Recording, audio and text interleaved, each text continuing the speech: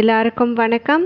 Welcome to ருசியோ ருசி இன்றைக்கி நம்ம ருசியோ ருசி சேனலில் பார்க்க போகிறது அடக வைத்த நகைகள் அனைத்தையுமே மீட்டெடுக்கணும் அப்படின்னு சொல்லும் பொழுதும் நம்ம வீடுகளில் தங்கம் சேர்வதில் இருக்கக்கூடிய தடைகள் முழுவதுமே விலகணும் அப்படின்னு சொல்லும் பொழுதும் இந்த அற்புதமான சனிக்கிழமை நாளோடு சேர்ந்து வரக்கூடிய இன்பம் பொங்கக்கூடிய தை மாதத்தினுடைய அமாவாசையும் வரக்கூடிய காரணத்தான நம்ம வீடுகளில் மாலை நேரத்தில் எந்த மாதிரியான ஒரு குறிப்பிட்ட வழிபாடு மற்றும் பரிகாரத்தை மேற்கொள்ளணும்? இப்படி இந்த பரிகாரத்தை மேற்கொள்ளும் பொழுது கடைபிடிக்க வேண்டிய ஒரு சில முக்கியமான குறிப்புகள் என்ன அப்படிங்கிறதுக்குண்டான அனைத்து விதமான தகவல்களையும் தான் நம்ம இன்னைக்கு இந்த பதிவின் மூலிமா தெரிஞ்சுக்க போகிறோம் வீடியோவை எங்கேயுமே ஸ்கிப் பண்ணாமல் பாருங்கள் அப்போ தான் எந்த ஒரு சின்ன தகவலையுமே நீங்கள் மிஸ் பண்ணாமல் தெரிஞ்சுக்க முடியும்.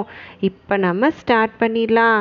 பொதுவாக இந்த அமாவாசையானது நமக்கு மாத மாதம் வந்தாலுமே குறிப்பிட்ட இந்த தை மாதத்தில் வரக்கூடிய அமாவாசையானது ஒரு சக்தி வாய்ந்த நாளாகவே கருதப்படுது.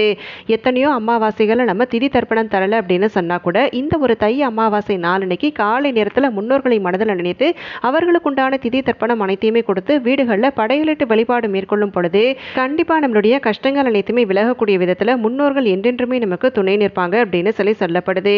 அதுலேயும் இந்த தை அமாவாசையானது நமக்கு இந்த வருடம் பார்த்தீங்கன்னா மூன்று முக்கிய முக்கியமான விசேஷங்களோடு தாங்கி வருது. அதை பற்றின ஒரு தனி விளக்கப்பதிவும் நம்ம சேனலில் இருக்குதுங்க. ஏன்னா இந்த ஒரு அமாவாசை நாளனைக்கு எப்பேற்பட்ட கஷ்ட நிலையில் இருக்கக்கூடியவர்கள் கூட கோபுர உச்சியை அடையணும் அப்படின்னு சொல்லும் பொழுது கடைபிடிக்க வேண்டிய ஒரு முக்கியமான ஐந்து விஷயங்களை பற்றின விளக்கமான பதிவு கொடுத்துருக்குறேன். அதோடு மட்டும் இல்லாமல் இந்த குறிப்பிட்ட தை அமாவாசை நாளோடு தான் நமக்கு சூழ விரதமும் சேர்ந்து வருது அப்படிங்கிறதால நம்ம வீடுகளில் ஒரு குறிப்பிட்ட கனியை வைத்து வழிபாடு செய்து கோவில் திருசுரத்தில் குத்தி வைப்பதால் கிடைக்கிற பலன் என்ன அப்படிங்கிறதுக்குண்டான ஒரு பதிவும் இருக்குது அதே சமயத்தில் கடலளவு கடன் பிரச்சனைகள் பிரச்சனைகள் இருக்குது அது அனைத்துமே கடுகளவு குறையணும் அப்படின்னு சொல்லும் பொழுதும் இந்த அமாவாசை நாளனைக்கு நம்ம வீடுகளில் மேற்கொள்ள வேண்டிய எளிமையான உப்பு பரிகாரம் என்ன அப்படிங்கிறதுக்கு உண்டான பதிவும் இருக்குது இப்படி இந்த மூன்று பதிவுகளுமே இது வரைக்கும் பார்க்கல அப்படின்னு சொல்லக்கூடியவர்கள் அந்த பதிவினுடைய லிங்க்ஸ் எல்லாத்தையுமே நான் இந்த வீடியோவோட டிஸ்கிரிப்ஷனில் அட்டாச் பண்ணுறேன் இந்த நாளினுடைய முக்கியத்துவம் என்ன அப்படிங்கிறத தெரிஞ்சுக்கணும் அப்படின்னு சொல்லும் பொழுது கண்டிப்பாக அந்த பதிவுகளை பார்த்து பயன்பெறுங்க.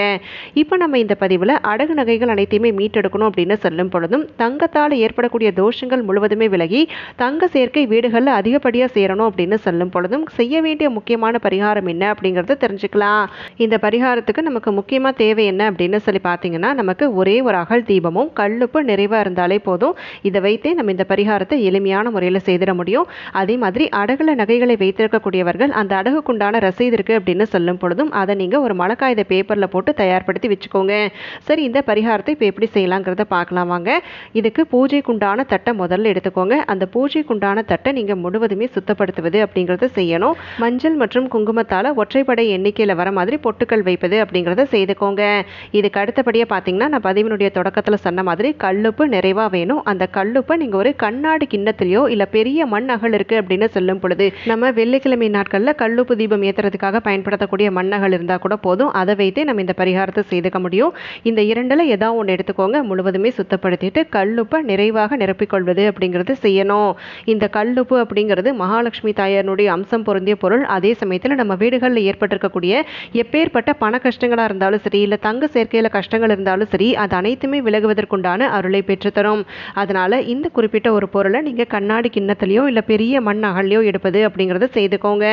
இப்படி நம்ம எடுத்ததுக்கப்புறமா இந்த கிண்ணத்தை இந்த பூஜைக்குண்டான தட்டுக்கு மேலே வச்சுட்டு அதுக்கு மேலே நீங்கள் ஒரு சில பொருட்கள் சேர்ப்பது அப்படிங்கிறத செய்யணும்.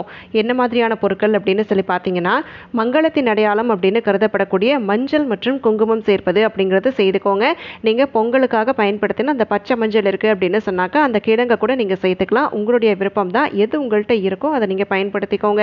அடுத்தபடியாக தங்க சேர்க்கைக்கு முக்கியமாக நம்ம சேர்க்க வேண்டிய ஒரு பொருள் என்ன? அதே சமயத்தில் அடகுல இருக்கக்கூடிய நகைகளை மீட்டெடுக்கணும் அப்படின்னு சொல்லும் பொழுது இந்த கல்லுப்புக்கு மேலே மகாலட்சுமி தாயாருக்கு பிடித்தமான பொருள் அப்படின்னு சொல்லப்படக்கூடிய ஏலக்காய் மற்றும் கிராம்பு மூன்று மூன்று அப்படிங்கிற எண்ணிக்கையில் ஒவ்வொரு பொருளுமே மூன்று அப்படிங்கிற எண்ணிக்கையில் எடுத்துக்கிட்டு அதை இந்த கல்லுப்புக்கு மேலே வைப்பது அப்படிங்கிறத செய்யணும். இதுக்கு அடுத்தபடியாக பார்த்தீங்க அப்படின்னு சொன்னாக்கா ஒரே ஒரு ஒரு ரூபாய் நாணயத்தை வைங்க. இது யார் கண்டிப்பாக வைக்கணும் அப்படின்னு சொல்லி பார்த்தீங்கன்னா அடகு நகைகளை மீட்டெடுக்கணும் அப்படின்னு சொல்லக்கூடியவர்கள் அதற்குண்டான பணவரவு ஏற்படணும் அப்படின்னு சொல்லும் பொழுது கண்டிப்பாக ஒரு ரூபாய் நாணயத்தை வைக்கணும். இப்போ அடகு நகைகள் எதுவுமே கிடையாதுங்க. நாங்கள் எல்லாமே அடகுலேருந்து எடுத்துட்டோம். ஆனால் வீட்டில் தங்கம் தங்கவே மாட்டேங்குது. எப்பயாவது அடகுக்கு போயிடுமா அப்படிங்கிற பயம் இருக்குது அப்படின்னு சொல்லக்கூடியவர்கள் இந்த ஒரு ரூபாய் நாணயத்தை நீங்கள் தவிர்த்துக்கலாம்.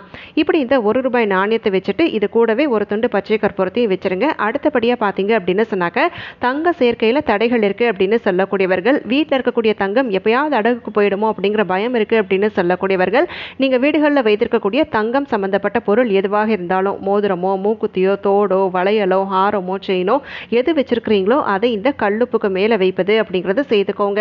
அதே மாதிரி அடகுல நகைகளை வைத்திருக்கக்கூடியவர்கள் நான் முன்னாடி சொன்ன மாதிரி ஒரு மழைக்காயத பேப்பரில் போட்டு தயார்படுத்த சொன்னேன் பார்த்தீங்களா அது அந்த தங்கம் சம்பந்தப்பட்ட பொருளுக்கு பதிலாக அந்த குறிப்பிட்ட ரசீதை வைப்பது அப்படிங்கிறது செய்யணும். இப்படி இந்த கல்லுப்புக்கு மேலே இந்த பொருட்கள் அனைத்தையுமே இந்த அமாவாசை நாளனைக்கு நம்ம வைத்து வீட்டு பூஜைறையில் அந்த பொருட்களுக்கு முன்பாக தீபம் ஏற்றணும் அப்படின்னு சொன்னால் கண்டிப்பாக அனைத்து விதமான கஷ்டங்களும் விலகுவதற்குண்டான அருள் கிடைக்கும். சரி அகல் தீபத்தை தயார்படுத்த சொன்னேன் பார்த்தீங்களா அந்த அகல் தீபத்தை எப்படி ஏற்றலாம் அப்படின்னு சொல்லி கேட்டிங்கன்னா இந்த பொருட்களை நம்ம வச்சதுக்கு அப்புறமா அடுத்தபடியாக இந்த பொருட்களுக்கு முன்பாக இந்த கண்ணாடி கிண்ணத்துக்கு முன்பாக அகல் தீபத்தை ஏற்றுவது அப்படிங்கிறத செய்யணும். அகல் தீபத்தை யார் கண்டிப்பாக ஏற்றணும் அப்படின்னு சொல்லி பார்த்தீங்கன்னா வீட்டில் பெண் பிள்ளை பிள்ளைகள் இருக்கிறாங்க அப்படின்னு சொல்லும் பொழுது அந்த பெண் பிள்ளைகளை ஏற்ற வைப்பது அப்படிங்கிறது செய்துக்கோங்க. அதே மாதிரி அகல் தீபத்துலையும் இப்போ நான் சொல்லக்கூடிய பொருட்களை சேர்த்து தீபம் ஏற்றுவது அப்படிங்கிறத செய்யணும்.